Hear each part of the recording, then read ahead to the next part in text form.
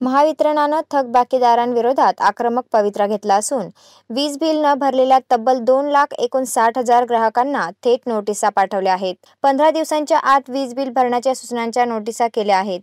दरम्यान नाशिक जिल्ह्यातील एक लाख एकतीस हजार आठशे ग्राहकांनी एप्रिलपासून वीज बिल भरलेले नाही. कोरोना काळात वाढीव वीज बिल आल्याचं सांगत अनेकांनी संताप व्यक्त केला. नुकतंच भाजप पक्षानं वाढीव वीज बिलावरून महावितरण कार्यालयासमोर आंदोलन केलं होतं.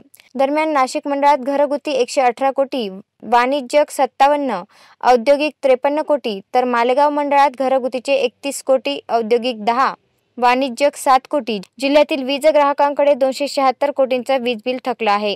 ग्राहकांनी वीज बिल भरावं याकरता महावितरण कंपनीनं नोटिसा धाडल्या आहेत. यामुळे राजकीय वातावरण तापण्याची शक्यता दिसत आहे. वेद न्यूजसाठी video journalist Anil Gunjal Nashik road.